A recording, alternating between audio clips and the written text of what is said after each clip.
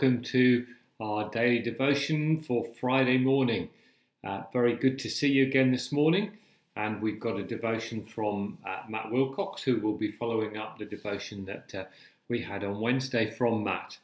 Let me just start with a verse from Revelation. You might remember yesterday I shared a little bit about Revelation and uh, just said that it would come as a uh, news to me, something new to me that um, one of the main themes of Revelation is worship. And so here's a little verse from Revelation chapter 4.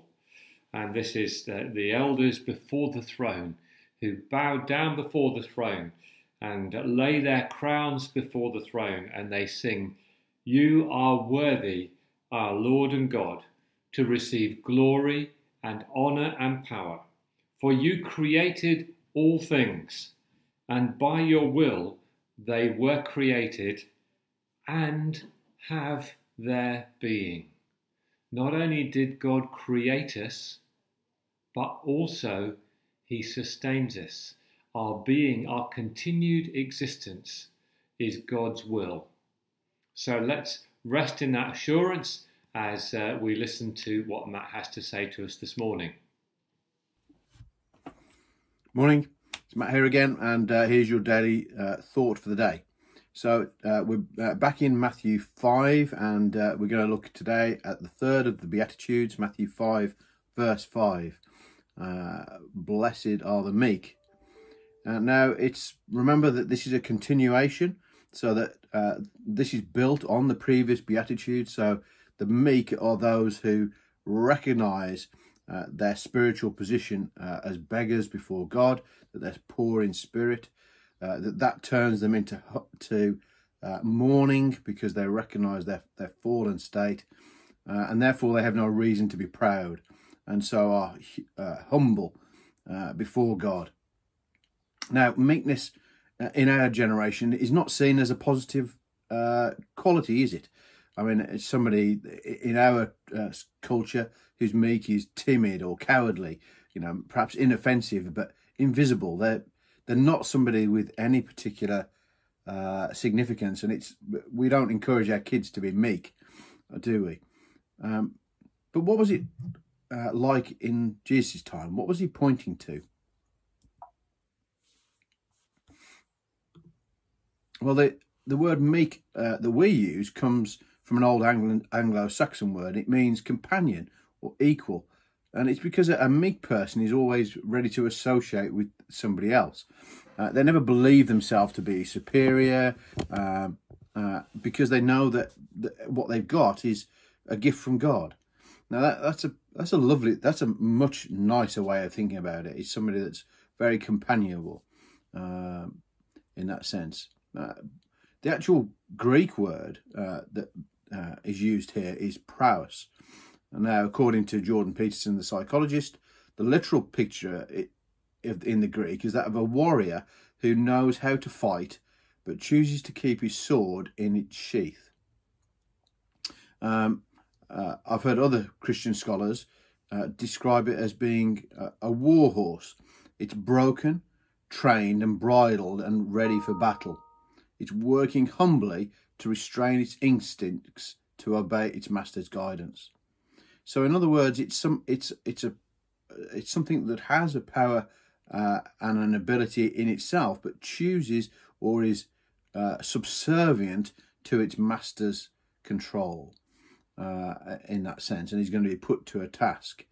The again that uh, uh, picture that uh, Jordan Peterson uses, you know, it's somebody that you know can fight, has a sword but chooses not to because they're going to there's you know they're uh, they're doing something better than that. And it, and so it requires a, a significant amount of stra- uh, restraint and strength uh, to do that. And I think that's the same as that warhorse it could flee the battle uh, but no it, it's under the control of its rider and so it will charge with its rider into the teeth of the uh, of, of the oncoming battle. We remember that our example uh, for meekness is Jesus himself. Matthew uh, 11 29 talks about that. Um, and we know that Jesus was not cowardly, was not timid. He had power and authority, and he could have used force, but chose not to. Uh, we remember when he was being tempted, uh, Satan, you know, routinely asked, said, "Why don't you call on the angels? Do this. Come on, you're the, you're the son of God. You can get yourself out of this mess." Even when he was on the cross, uh, the the crowds were mocking him, saying, "Ha! If you're the king of the Jews, just get down off the cross. You know, call down your angels to help you."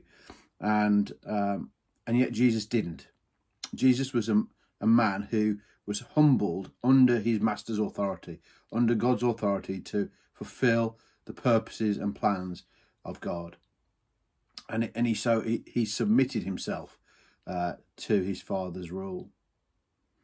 Uh, actually, Jesus, when it, when he's giving this example in Matthew five, is quoting Psalm thirty seven, and I'll let you have a read of that because it's a, a, it's a long passage, uh, but yeah, just have a read because it talks about what the humble person looks like. So, who are the meek? Well, they're people who are lowly and gentle in mind before God and man. They are they show a submission to God's will and a flexibility to His word. Uh, so, how on earth do they inherit the earth? How do we? What do you think? How do they inherit the earth? Well, the reality is that it's the humble person that will stand with God in the end, because the proud, as we, uh, as I talked about in my previous study, they're going to be brought low uh, before God. Nothing, no, no, none of the proud people will stand before God because they can't. They can't stand on their own rights. We have to be humbled and meek before God, willingly serving Him, and uh, that should be our, our prayer today. That you know, it's not easy to to uh, kill the flesh, to kill the pride that's within us, but actually there is nothing better than to serve God with all our uh, mind, body, and strength.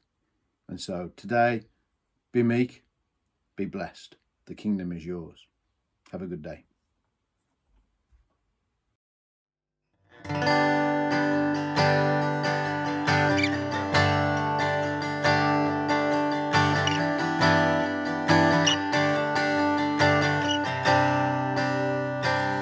I choose to worship, I choose to bow.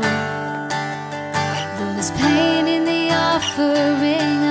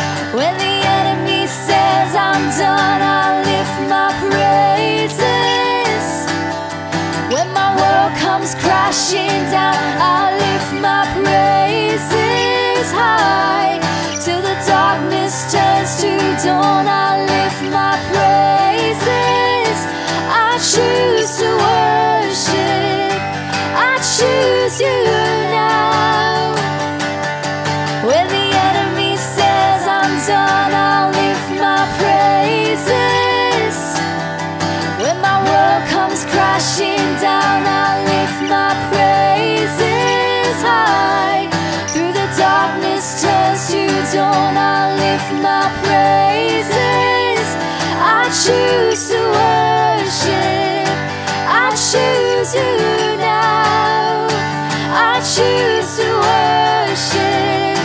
I choose you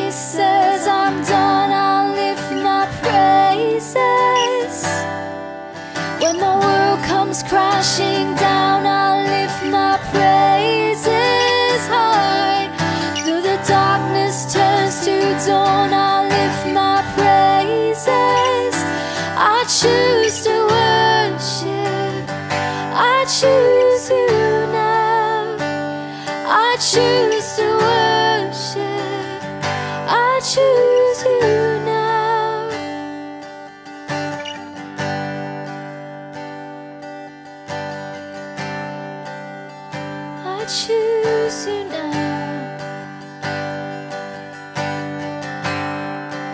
We choose to worship you, God, in the middle of the storm, in the middle of the trial, Lord.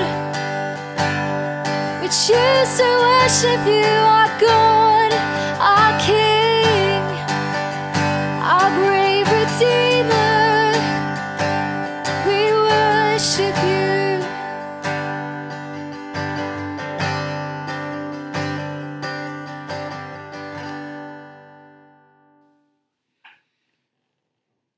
was a new song that Amy has recorded. Um, I hope you enjoy it. You can find it on the Worship YouTube channel, which I'm just trying to put on there. There we are. If you go to YouTube, Grosvenor Worship Barnstaple, um, you'll find that song and a number of others as well. Um, we're going to spend some time in prayer now, so uh, let's spend a few moments praying.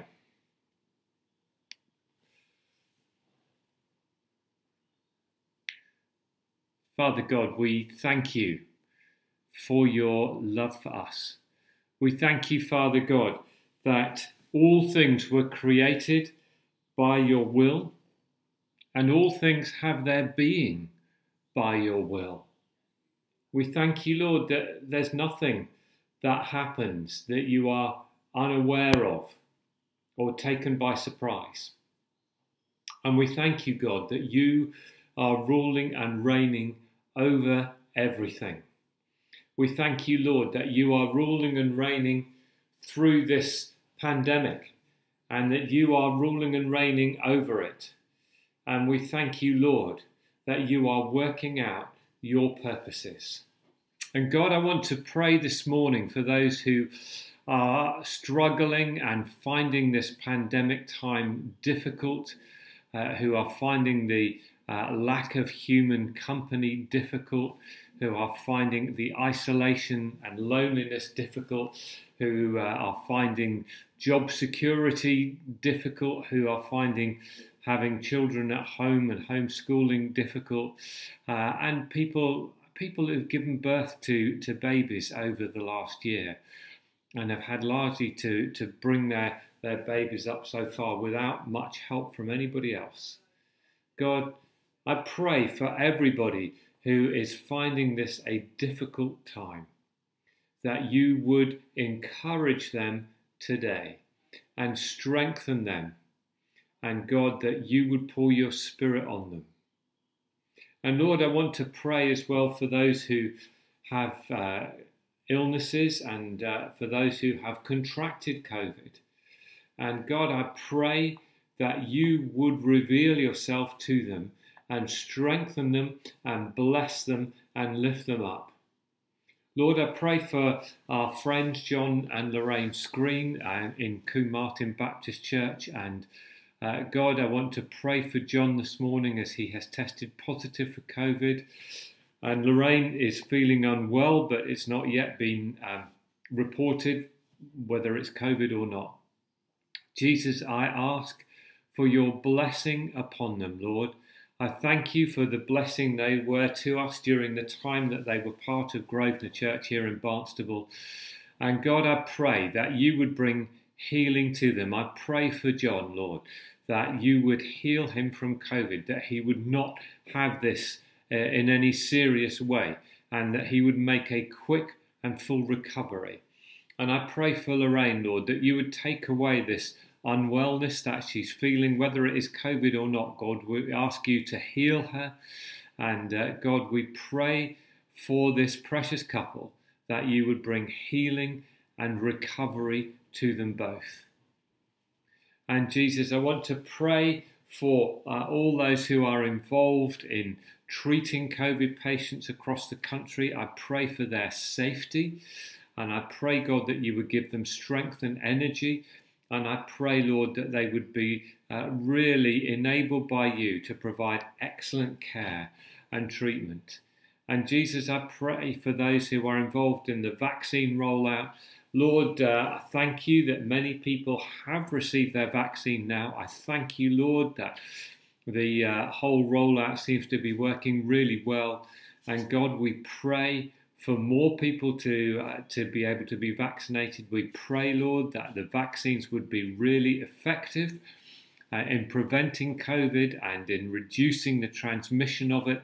And we pray, Father God, that there would be no side effects from it at all. And I pray, Lord, for those who are fearful about having the vaccine, some some of that fear based on um, just incorrect information that has been uh, posted around. And God, I pray that uh, where people are fearful because of incorrect information, that you would bring truth into that situation. That where people are, are scared, that you would give them peace. And uh, I pray, God, that this vaccine would be completely safe and have no harmful side effects. And I pray, Jesus, that uh, the whole pandemic would be brought under control. God, we commit that to you. And Lord, I just ask for those who are involved in the rollout, Lord, particularly people who have volunteered, people we know who have returned from uh, retirement to help with this or just volunteered in helping the, the queues and the administration. God, will you bless them? Thank you for their selfless uh, volunteering. Keep them healthy and well. And I pray, God, that they would find it a really rewarding task. So, Jesus, we do commit these things to you this morning.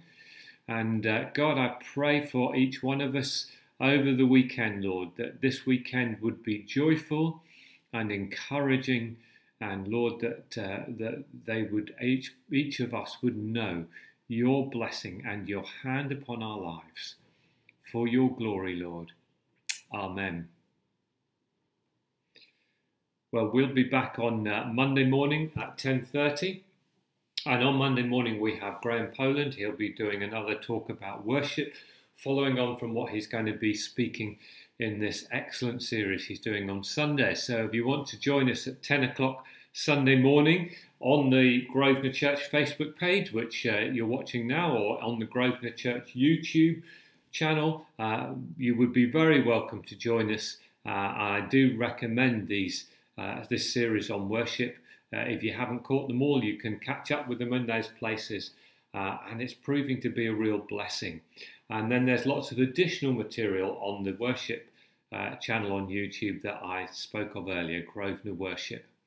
Okay, well, thank you for joining us today. Have a really good day and a really good weekend. And I look forward to seeing you again on Monday morning. Bye.